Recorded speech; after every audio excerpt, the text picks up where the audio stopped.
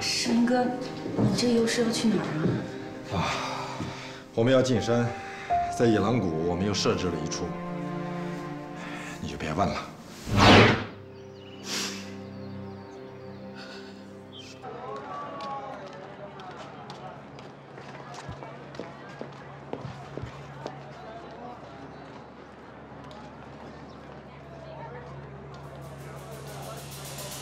如果你想通了，就去紫玉绸缎庄，那里有我们的人。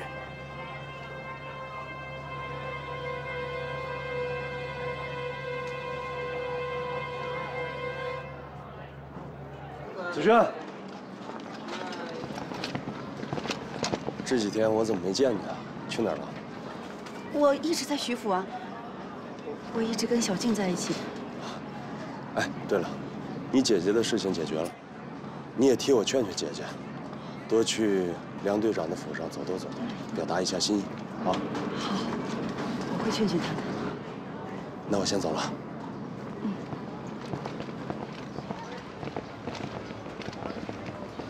太太，您需要点什么？哦，我，你这里有杭州的绸缎吗？您是徐府的人吧？是刚到的货，太太，请里面请。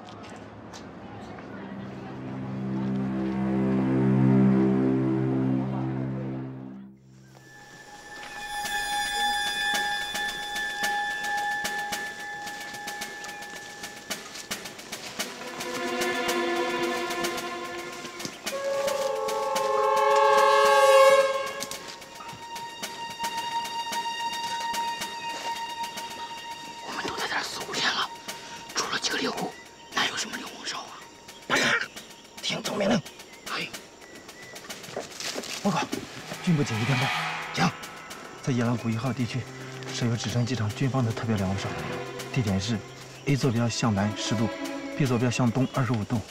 军部命令我们搜索前进，打掉这个观察点。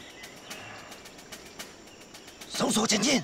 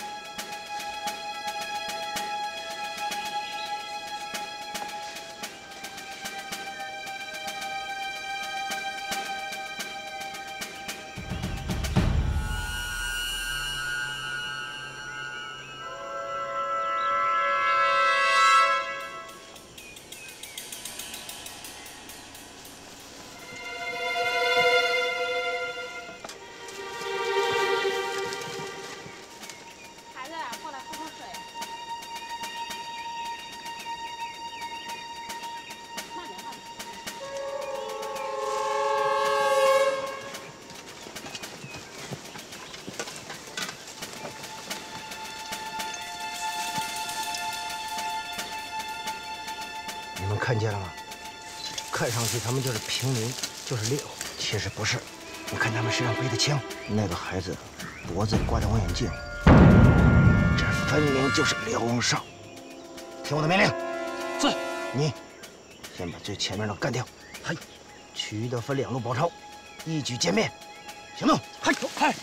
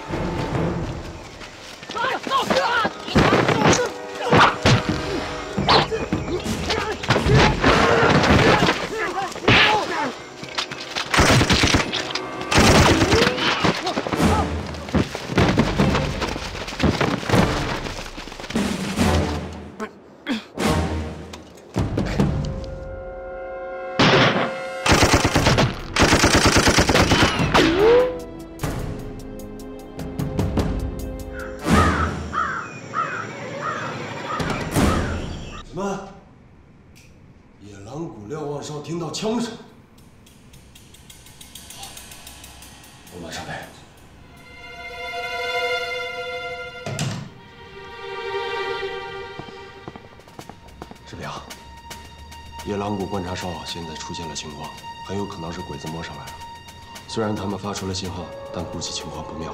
你马上带一队人去，一定不能让摸进来的鬼子活着回去。放心吧，虽然我这个剿匪大队的大队长没当好，可打日本人还是玩命的。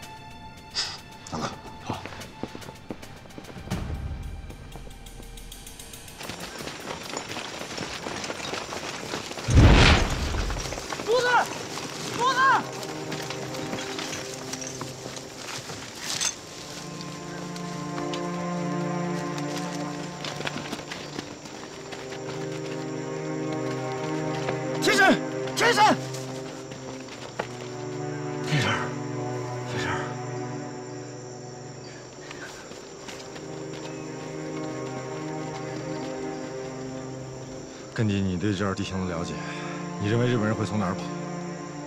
从这里出战，唯一的通道走鸭子嘴。咱们抄小路伏击他们，一定能等到他们。好，你派几个兄弟到附近的猎户家里去找一捕哨的家伙。好兄弟们，走走。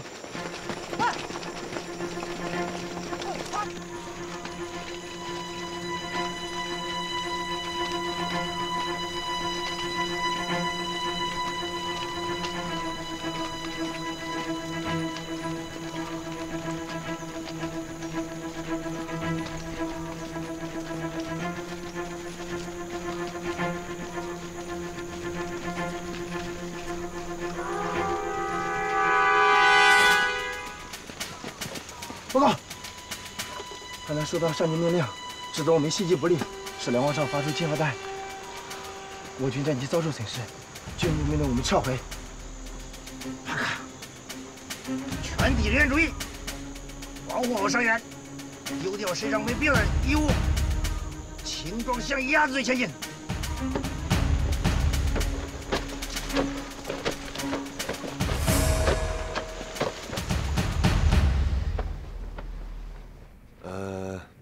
我今天来找你呢，是有一件很重要的事情要与你商量。你说，其实我早就知道你是共产党。以你唐先生的为人呢，我是很敬佩的。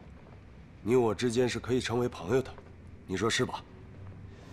潘院长，这人不分老幼，地不分南北，只要是抗日打鬼子，我们就是朋友，是吧？好，潘院长，有什么话你直说。那我就直说了。我刚刚收到上级的命令，一个叫罗伯特的美国人，在前往芷江的路上被日本人抓走了。美国人？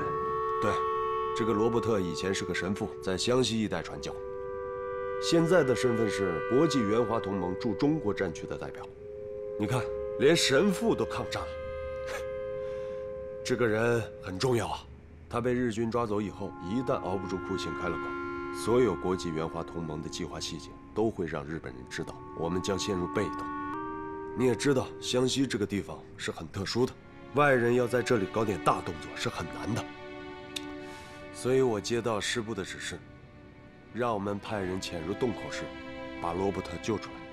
你看，派谁去好呢？我觉得最适合的人选，莫过于叶子桐了。你看，他手下的严虎啊、三妹啊，都是绝顶的高手。再说了，他们熟悉洞口的地势形势。潘院长，可能还有一个原因，你还不知道呢。请讲。是这样，这个罗伯特啊和叶子彤呢有一段传奇的交往。平阳山寨的土匪曾经劫过罗伯特的货款，当时叶子彤是高抬贵手，连人带货一起给放了。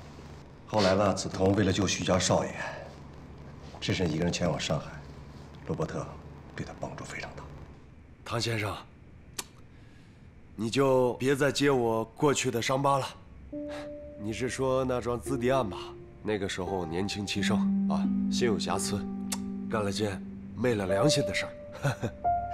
班长，我不是想提这些旧事，我就是想告诉你，这件事叶子桐去是最合适的。他认识罗伯特呀，要是你们去了以后，兴许还会救错人呢。那你看，唐先生，你去和叶子彤说。好，我现在过去。好，好，好，那不送了。累坏了吧？喝点水，休息。大家辛苦了啊！大家辛苦了。啊，找你们。好，先去。辛苦了啊！瞧见没有，有活干了。喝水。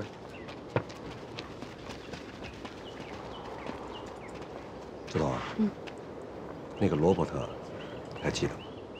记得，我们交情挺好的。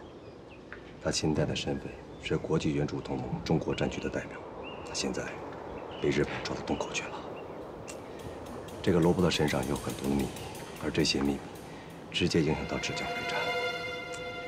如果他一旦接受不住日本人的言行而开了口的话，会影响到湘西会战。他命令我们要不惜任何代价把他救出来。我知道了，唐先生。还是叫同志吧。唐同志，有点别扭，还是叫唐先生吧。行，叫什么都成。这件事儿您交给我，您放心。记住，这是党交给的任务。是，保证完成任务。严虎，三妹。哎。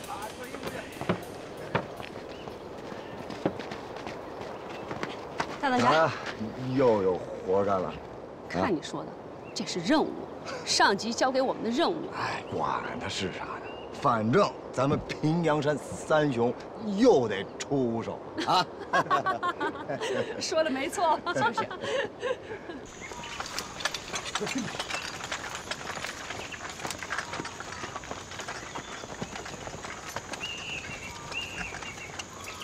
徐少爷，这就是鸭子队。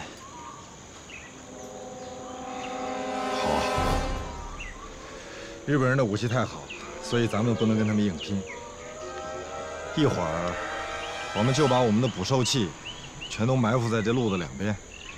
你枪法好，等他们过来，你先开枪干掉一个，然后他们肯定会往路的两边闪，到时候咱们的捕兽器就能派上用场。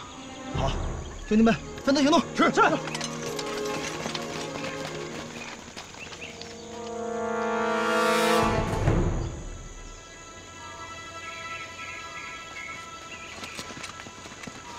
队长，捕兽器已经埋藏好了。好，你带人隐蔽吧。兄弟们，隐蔽，快！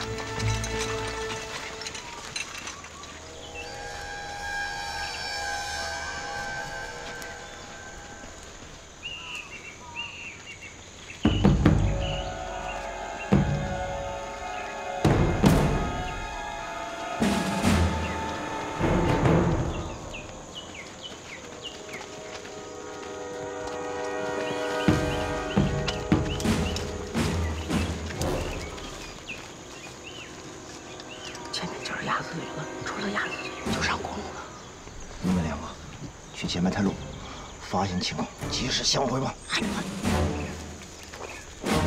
区人听着，提高警惕，原地待命。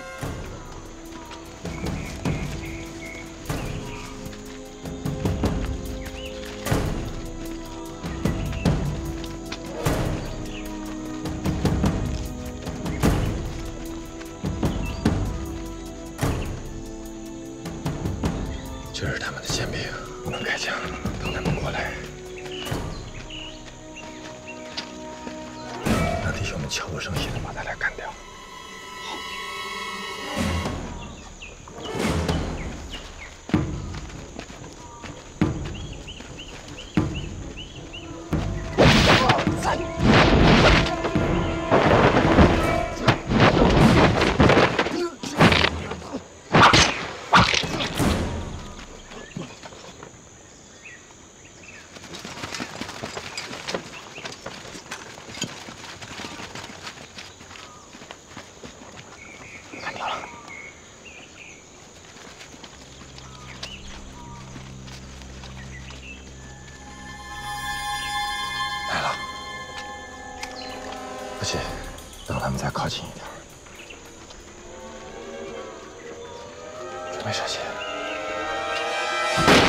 我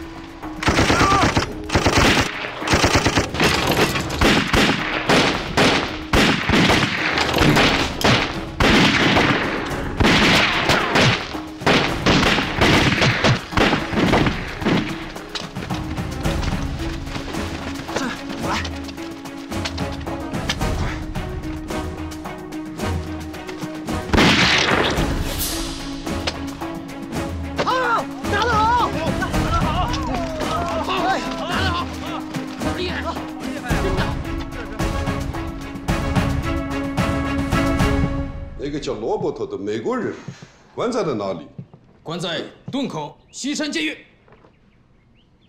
监狱是关人的地方，也是对手救他的地方。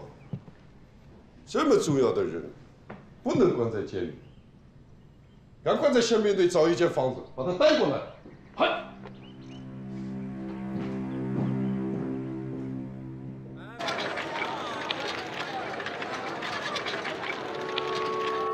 咱们这次行动的难度很大，咱们在洞口镇没有眼线，大当家已经去安排去了。还有，咱们这次不能住旅馆，先找个地方把你变成男的，然后去住大车店。哎，我说二当家，我亏你想得出来。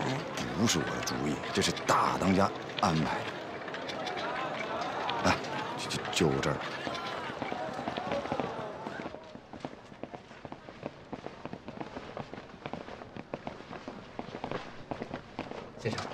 您看您需要点什么？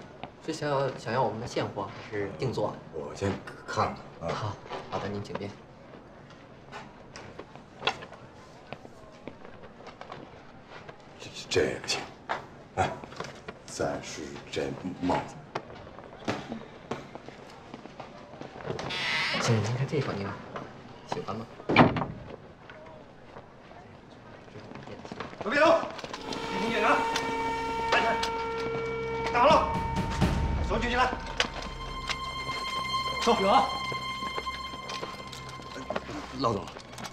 出啥事了？这么大动静啊？少废话！哪个呢老板？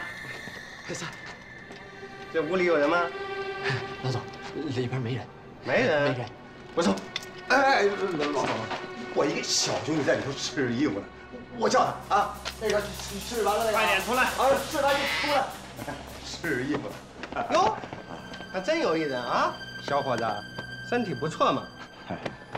好像练过。啊，练过，练过。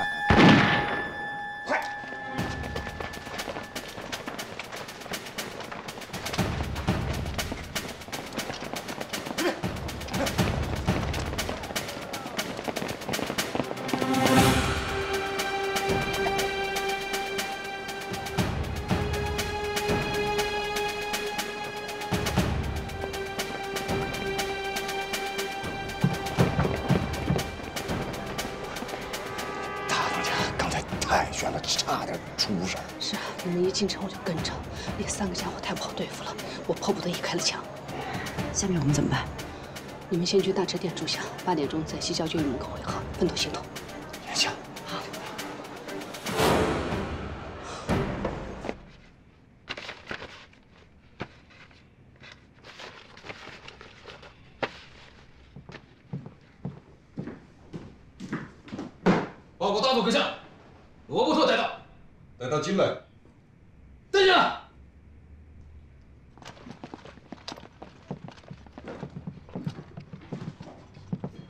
先下去。嗨。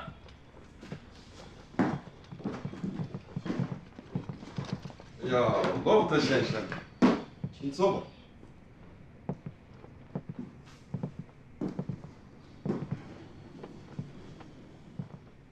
罗伯特先生作为神职人员也从军了，这世界上的事情可真是捉摸不定。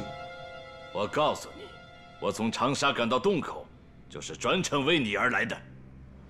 现实保佑众生的平安，真正的杀戮是卫生现的医治了。我请你来，不是讨论教育的，说说你来湘西的使命吧。告诉我们，告诉我们国际援华同盟的物资储运计划。是没有让我将这些告诉你们，这就野兽，因为你们最终要下地狱了。在我下地狱之前，你的身心将要遭受比地狱更可怕的磨难。你可以不说。可进了审讯室就由不得你了。好好想想吧，神父。来人，请罗伯特先生去休息。晚上我们好好聊聊。罗伯特先生，行吗。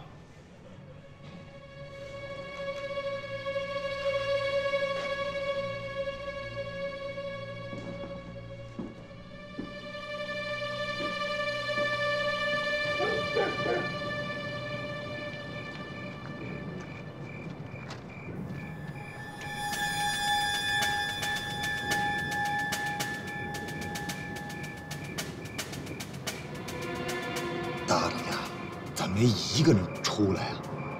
是啊，沉住气，再等等，会有办法。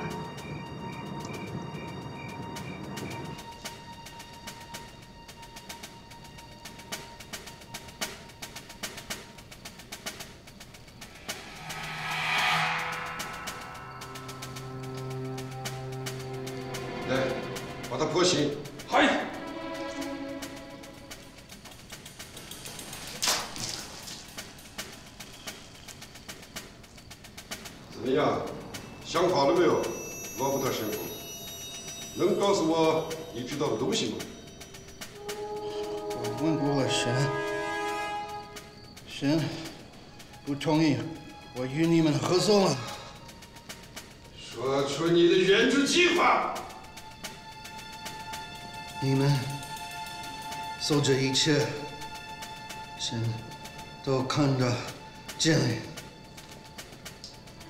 啊，告诉我，你们一定会下地狱的。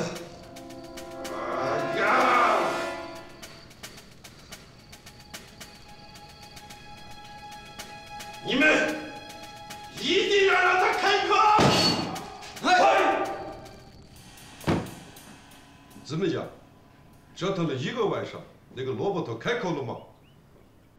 昏死过去几次，总是说一句话。他总是说什么样的话？他说：“神会让你们下地狱的。赶快安排人给他疗伤，这样下去是不可以的。嗨！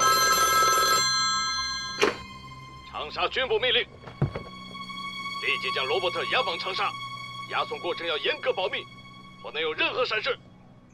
嘿，我马上派人给他疗伤。赶快下去，安排医生给他疗伤。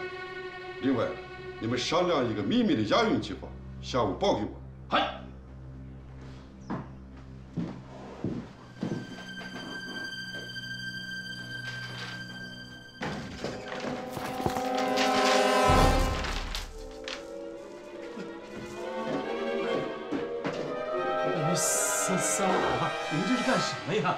就是个监狱长，我没钱没势，我我也没有仇家。对呀，我们大当家有几句话要跟你说。大当家，莫非你就是平阳山的漫天红？哎呀，失敬失敬。哎呀，大当家的，你别误会啊，我穿这身皮也就是为了混口饭吃。哎，不过我从来没有得罪过你们平阳山。我们今天来不是来寻仇的，是向你打听个人。早就听说，呃，漫天红为人仗义，有什么话你尽管问。前几天你们监狱是不是关了一个外国人？啊，是的。我们要把他弄出去。我老邱也是在江湖上混过的，你漫天红开了口，我理应照办。可惜的是，这个人现在不在我的监狱里，昨天晚上啊已经被人带走了。什么人？是日本宪兵队的，呃，提人的时候是我办的手续，还签了字，都是我经手的。你他妈别蒙我们啊！要是别人问我呢，我也许会蒙他，弄俩钱花。可是你漫天红的名号在道上是响当当的，我怎么敢蒙你啊？对吧？那要是蒙了你，我以后怎么还出来混呢？你要是有半句假话，活不过今晚。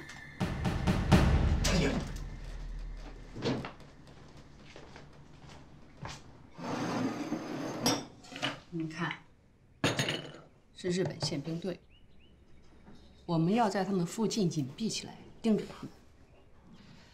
像罗伯特这么重要的人物，不可能一直关在洞口，他们肯定会转移到长沙。我们盯紧了囚车，一旦发现他们转移罗伯特，我们在半路上下手。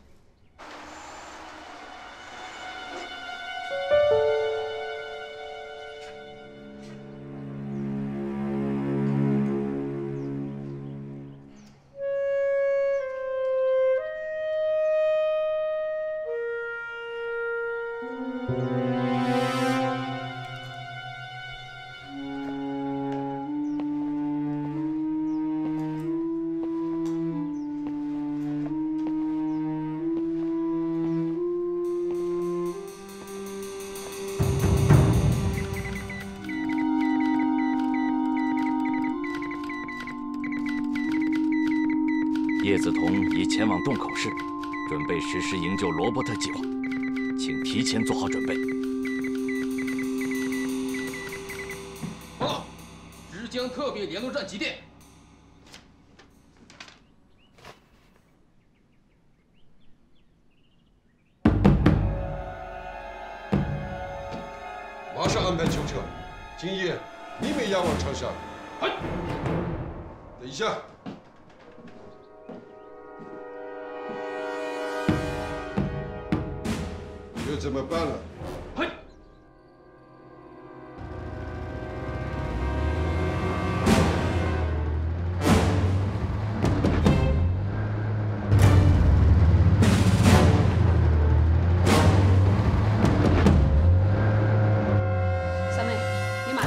面打探清楚，如果确定罗伯特就在车上，马上回来报告。好。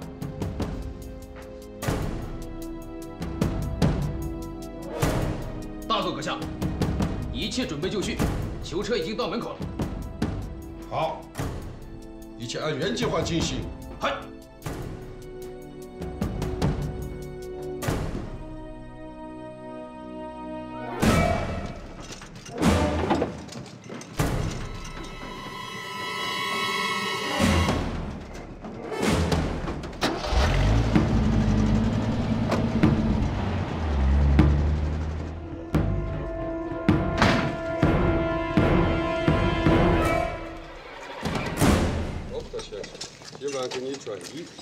相信你一定会开口的。来，赶快带到郊外与囚车会合。嗨。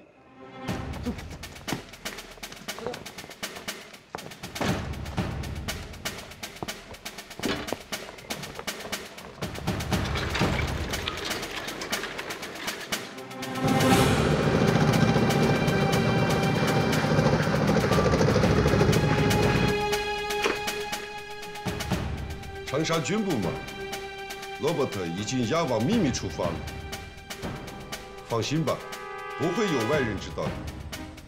我用的方法，按中国人的说法是声东击西。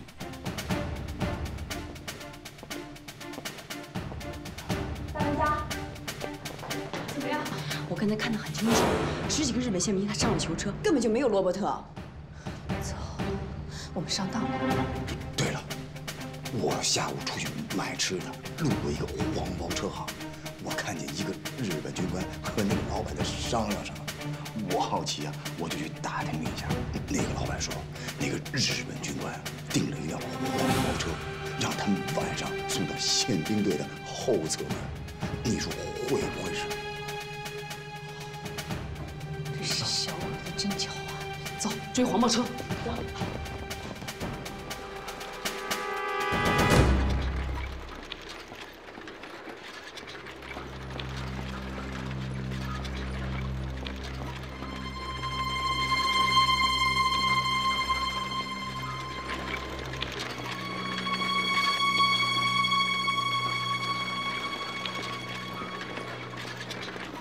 包车这么慢，里面肯定坐着两个人。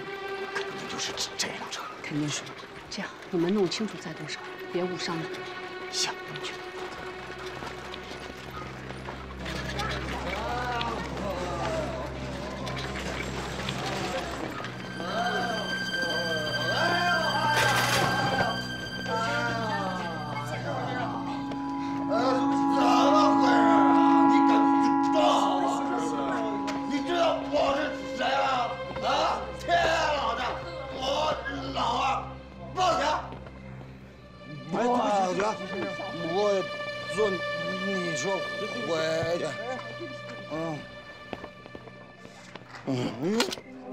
给我滚远点，不然我一枪打死别抬你。你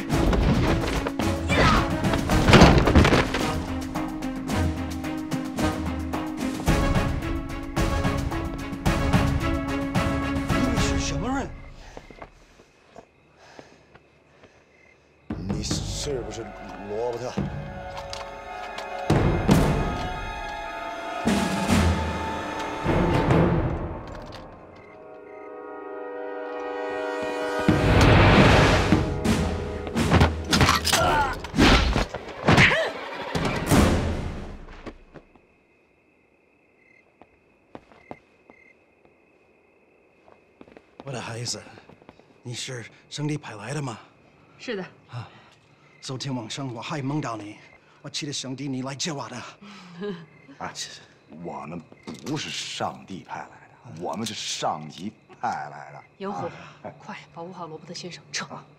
走。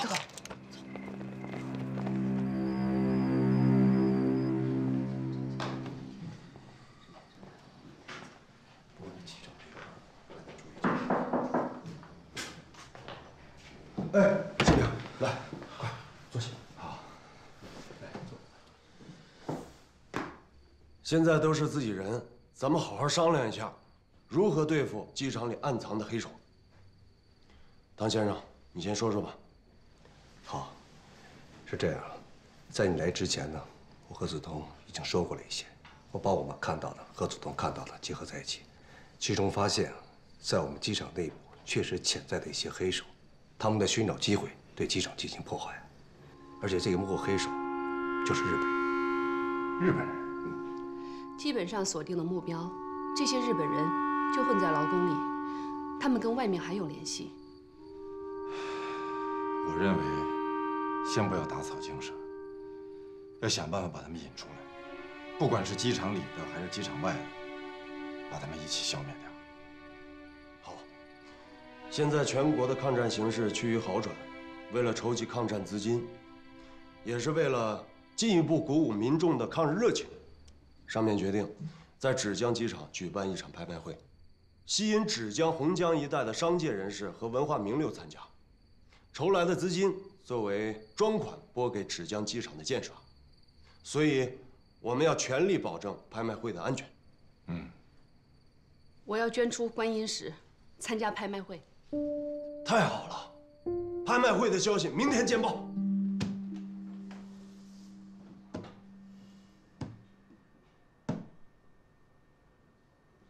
通知芷江特别联系处，利用拍卖会的机会，将炸药送进芷江机场。同时，不惜重金拍的那个神秘的观音石。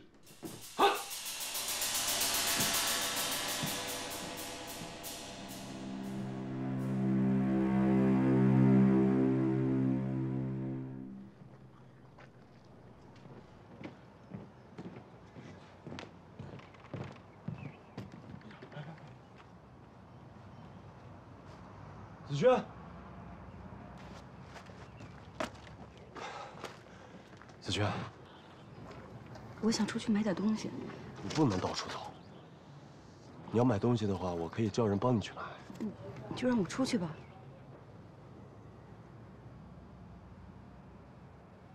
学生，到。你带徐夫人到县城里买点东西，啊，一定要保证徐夫人的安全。早去早回。是，徐夫人这边请。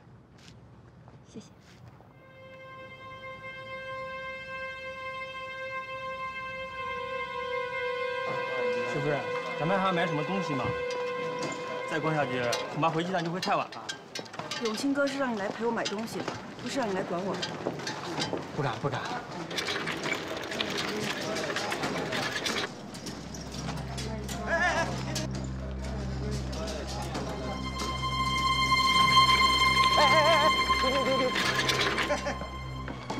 哎呀，姨奶奶，姨奶奶，郑铁嘴，你怎么在这儿？我不是一直帮着大，是这样的，你姐姐得罪了洪江镇的警察局局长，他跑到山上去了，把我给落下来。我现在是没有靠山了，只有四处躲藏去。哎呀，没想到在这碰到姨奶奶，哎呀，依旧是风华绝代。我没有空跟你闲工夫。哎哎哎，姨奶奶，你说这话就不对了。我可是帮过你大忙的人啊，你不能忘恩负义啊！哎，干什么？干干干嘛？姨奶奶，我不是狼心啊，机场的事儿，我也想去帮忙去。你帮机场的忙？是这样的，我现在是受人之托呢，要到机场去这个拍卖会，是不是啊？哎，当然，去的时候自己弄点小钱儿嘛。姨奶奶，你领个路可以吗？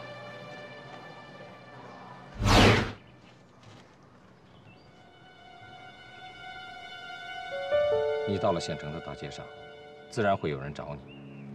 他会告诉你，他是受人之托要到机场去参加拍卖会的。之后，他会拦一辆人力车，你就跟他一起上人力车回到机场。如果遇到卫兵阻拦你的话，呃，啊，你就说你买的东西太多了，你自己一个人根本就拿不了。子轩，你记住，你一定要让人力车把你送到宿舍的门口，只要你能把这件事办妥了。我今天晚上会在机场的瞭望塔右边那个角落里等你，